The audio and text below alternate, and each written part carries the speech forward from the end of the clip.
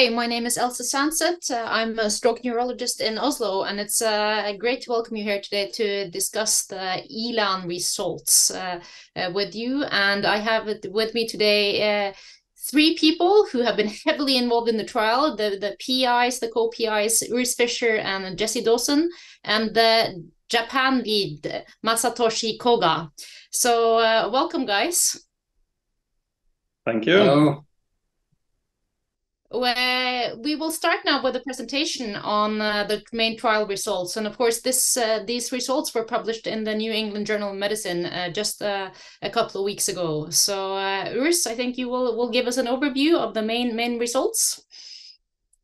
Yeah, thank you very much. And uh, it's my pleasure to present you the data, which we also have presented at the European Stroke Organization conference in May later this year. So here um, is the title of the ELAN trial. ELAN stands for Early versus Late Initiation of Direct Oral Anticoagulants in Post-Ischemic Stroke Patients with Atrial Fibrillation. Um, these are my disclosures.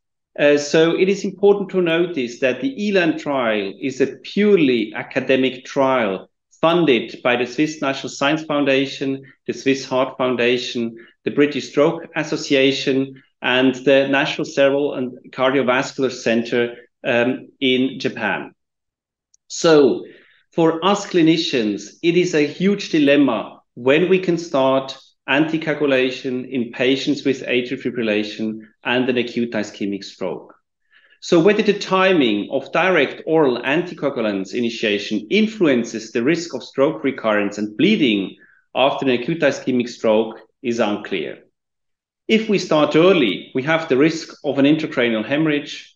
If we start late, we have the risk of ischemic stroke recurrence. So the timing trial has shown that early initiation was non-inferior to the late start of DOAC after acute ischemic stroke in, people with atrial fibrillation. Nevertheless, we do not know whether an early start is even better compared to a late treatment start. So that was the aim of the ELAN trial. We aimed to estimate the effect of early initiation as compared with late initiation of anticoagulation and to estimate the degree of precision of these estimates. As already mentioned, ELAN was an investigator-initiated international multi-center randomized controlled two-arm assessor blinded trial the first patient was randomized in October 2017. The last patient was followed up in December 2022. Overall, we aimed to randomize 2,000 patients. It is extremely important to notice that given the lack of unbiased data to formulate a rationale for a non-inferiority margin or an estimate for a potential superiority trial, no statistical hypotheses were tested. So we will not show any p-values in this presentation, but we will provide estimated ranges for outcome differences between the trial groups. So here you see the ELAN trial flowchart. Patients were classified according to the size of their stroke on imaging. If a patient had a minor or a moderate stroke, they, they were randomized within 48 hours. And if they were in the early treatment arm, treatment was started within 48 hours. If a patient with a minor stroke was in the late treatment arm, then treatment was initiated at day three or four. If the patient had a moderate stroke, treatment was started at day six or seven if the patient was in the late treatment arm. Patients with major strokes they were only randomized at day six. And if they were in the early treatment arm, treatment was started at day six or seven. If they were in the late treatment arm, treatment was started at day 12, 13, or 14. The primary outcome was assessed at 30 days, secondary outcomes at 90 days. So here you see the primary and secondary outcomes. The primary outcome was a composite of recurrent ischemic stroke, symptomatic intracranial hemorrhage, major extracranial bleeding, systemic embolism, and or vascular death at 30 days. Main secondary outcomes were the components of the primary outcome, death from any cause, non-major bleeding, modified Rankin scale, and modified Rankin scale shift at 30 and or 90 days. Here you now see the results of the ELAN trial. So overall, 2,032 participants were randomized in 100 sites in 15 countries in Europe, Middle East, and Asia. 2013 patients fulfilled the analysis set and 1,006 uh, participants were allocated to the early treatment arm, 1,007 to the late treatment arm. At 30 days, only one patient was lost to follow-up in the early treatment arm. At 90 days, two patients were lost to follow-up, two in the early and two in the late treatment arm. Here you see the baseline characteristics, which were well balanced. So the median age was 77. Um, almost 45% uh, of the patients were female. And here you see the NIH stroke scale score on admission. It was five on admission and three at randomization. Almost 40% of the patients had a minor stroke, 40% uh, had a moderate stroke, and one fifth had a major stroke. It's important to notice that almost 40% of the patients had thrombolysis prior treatment start, and one fifth had a thrombectomy prior randomization.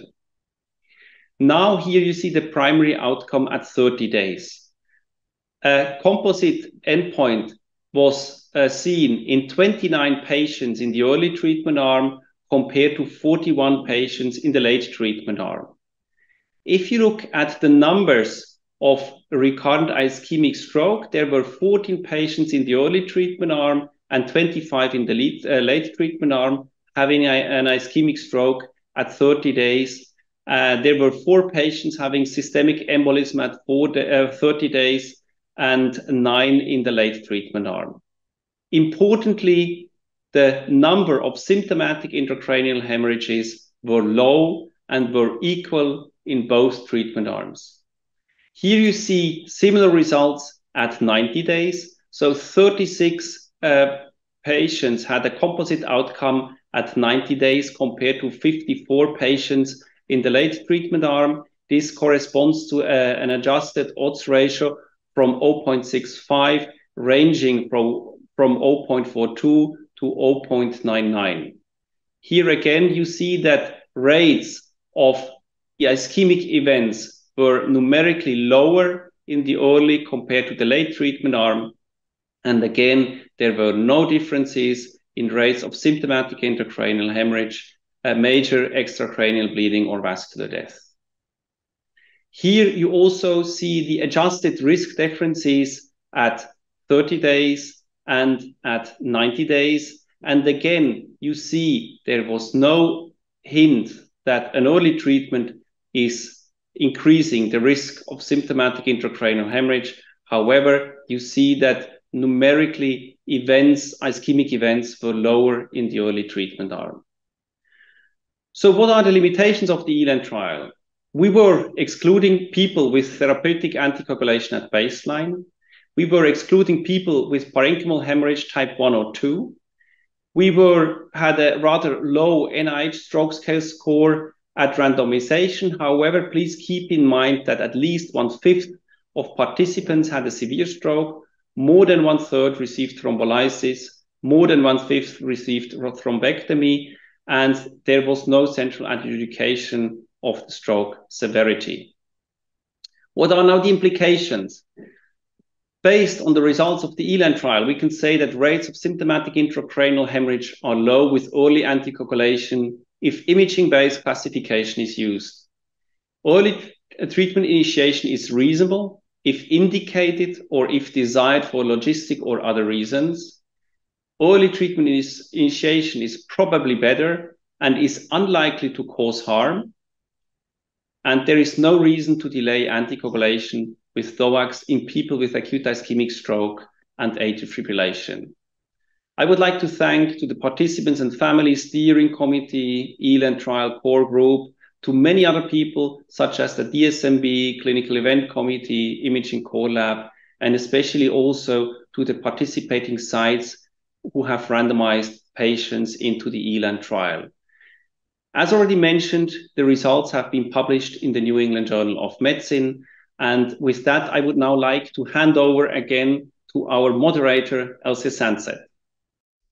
Uh, thank you very much, Urs, and uh, congratulations on completing a very important uh, trial and uh, also for completing an academic trial, which really uh, requires tremendous effort, not just from you and your team, but for all participants in the trial. My first question is going to be directed to to to Jesse, and uh, we're going to go straight into the key key points, and that is what do the, these results uh, mean to our patients? Yeah, so I think that's obviously the, the, crucial question, isn't it? With, with any trial, once the results are there and we we we interpret them as what do they actually mean on the ground? And and if I were a stroke patient, a stroke survivor with atrial fibrillation, there would really be two messages that I would take. I think overall, I would be reassured by the fact that the risk of early bleeding with a DOAC, if it's done properly with imaging guiding when we take our decisions, is really rather low. And I think it's really important that we have those data because much of our assessment of risk is based on data from the heparin era, the warfarin era, where we now, I think, know quite clearly the risks were higher. So that would be message one. And, and number two would be that there is a very strong signal that there is a reduction in the risk of ischemic stroke in particular and of the, the composite outcome at 90 days. So I think for patients, it means that there is a absence of any suggestion of harm and there is a fairly strong signal that there is a reduction in the risk of early ischemic stroke. So I would view it as a a marginal but important gain for patients without any significant risk or cost. I think this is uh, important point points here. And then uh, a question to you, Masatoshi, uh, and that is uh, then on from the patient to the clinician. And uh, how, how do you think these results will influence our clinical practice? Hmm. Because we had uh, many observational uh, researches and based on the such uh, investigations, uh, always uh, early uh, or drug initiation could be the safe, but uh, this trial is a randomized trial. Therefore, the we should we could be the more confident to use uh, drugs in early phase. So also, uh, this is the imaging based and uh, we uh, classified into the three type of mild, moderate, and uh, severe stroke. So we could uh, make uh, very clear clinical uh, uh, decisions on these patients. Very clear signal we could get, I believe. I think it's a really interesting um, set of data because I think all stroke physicians and neurologists who are watching this will agree that every time you start anticoagulation, you have uncertainty in your mind about, you know, there is some concern about the risks and benefits. It doesn't matter who the patient is, there's always a concern in the back of our mind about bleeding.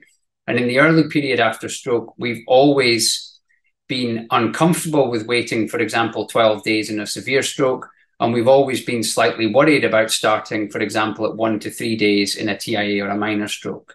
And I think what these data do for clinicians is remove a huge amount of that anxiety. So we can say, if I start a patient with a mild or moderate stroke at 36 hours, there is no evidence to support an increased risk of bleeding, and there's evidence to maybe suggest it's better. And that to me relieves a big source of anxiety from, from my practice in a fair number of patients. And if you have a patient with a severe stroke, you can say, I no longer need to worry between day five and day 12 when I think it's okay to start a DOAC, but guidelines tell me to wait. You no longer have to worry about leaving that patient at risk because you can go ahead and start without um, any concern about safety. So I, I think as a clinician, the data are quite anxiety reducing, which is, is quite nice, I think. I agree. I we some hesitation to use the drugs in early stage, but then now I'm confident to use in early stage. So same for me, and especially in those patients with with the, the larger strokes or the the major strokes where you have um, you know the reason why they got their stroke is most likely due to their atrial fibrillation and a cardioembolic source with a large clot going off, and then uh, uh, you are not supposed to anticoagulate them and it's it's it's uh, it's a scary time as uh, as a clinician i think uh, those days. So uh, for me as well these are it gives me additional confidence to to think it, it's we it's okay to start uh, anticoagulation uh, early. So then back to you Urs. do you think the results will change our guidelines? That's a good question. In fact i think we as PIs, we are not the people who are supposed to write the guidelines. You know, we now need independent academics who are reviewing our trial and also data from the timing trial, which has been published uh, last year. And as you probably also are aware of, there are other trials on the same topic ongoing. The START trial from the US and the big OPTIMAS trial in the UK. And I think bringing together the evidence of all these trials, I assume that they will change the guidelines in the future. Nevertheless, this job has to be done by independent people who were not involved in designing these protocols. And then another question, and this is for, for, for you, Urs, and also for, for, Jesse. And uh, so the design of this trial is is innovative, and it is it challenges our way uh, on how we view data, and also uh, you, you, need to turn a bit around in your head because there's no p-values, and uh, this is something we are not, not not that used to thinking, looking at the results, and we have no p-values. Uh, so can you tell us a bit more about that, Urs? Uh, yes. So if you design a trial, you have to define a clinical hypothesis and you also have to try to formulate a statistical hypothesis. And you have different options. So you can say, I would like to do a so-called non-inferiority trial, or I would like to do a superiority trial. And these trials have a lot of challenges. And if you want to formulate a statistical hypothesis, you need unbiased data on which you can formulate your statistical hypothesis. So back in 2014, when we designed the ELAN trial, there were no unbiased data. And a lot of physicians using DOACs at that time, they were quite reluctant to use DOACs in patients with major strokes. However, they were quite liberal in using these drugs in patients with TIA and minor strokes. So we had no unbiased data. And that was the reason why we felt that it is impossible to formulate a statistical hypothesis. We had a long discussion with our statisticians, and that was the reason why we said, okay, if we cannot define a statistical hypothesis, we will just make two groups. We will calculate the event rates in both uh, treatment arms, and then we will look at the confidence intervals in both treatment arms. And then at the end of the day, the clinician has to find an interpretation of these uh, of these data. And I think we ended up in a situation where, for at least for me as a clinician, the situation is rather clear. I don't see any risk in bleeding complications, especially symptomatic intracranial hemorrhage. However, I see that numerically the rates of ischemic events are lower in the early treatment arms. So I don't see any reason not to start early. I know that some physicians are struggling with interpretation of our data, but as clinicians, we are doing that in everyday clinical practice. We are balancing risks and benefits, and we do not care about p values in clinical practice. Another question for you is uh, you have uh, led an academic trial through a pandemic. You reach your target sample size and uh, i mean that is a tremendous effort and big congratulations. Could you tell us a bit about how uh, how has your approach been to achieve this and uh, also how uh, how how you worked in order to create this team atmosphere that you have done in the ELAN trial. And I'm of course a bit biased because I am the national lead in in Norway, so I I, I know the efforts that you have put in. But I would like to you, for you to tell us a bit about that. Well, uh, we were facing quite a lot of challenging years in the past, and uh, but I think there are several key features which were quite particular for the ELAN trial. First of all, it is an academic trial and the funding was very limited. So if you want to do big trials with limited funding, you need to have electronic means in order to do site initiations, monitoring, and so on. So we already planned the trial prior to the pandemic uh, to be uh, an electronic trial. So we did a lot of remote monitoring by Zoom. We did all the site initiations uh, by Zoom. So we were not depending on traveling and going to different places. So I think that is the first, uh, first point. Second, we designed the protocol that it is really simple and following clinical practice.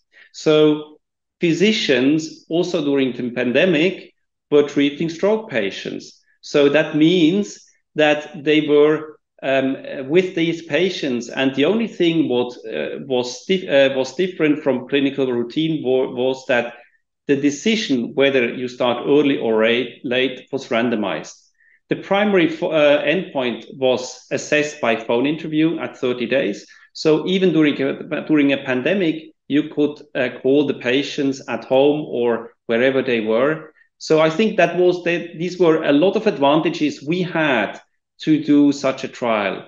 And last but not least, uh, we did such a trial in 15 countries. And as you are aware of, the pandemic was not peaking at the same time in all different 15 countries. So there were challenges in one country, we could continue in another country.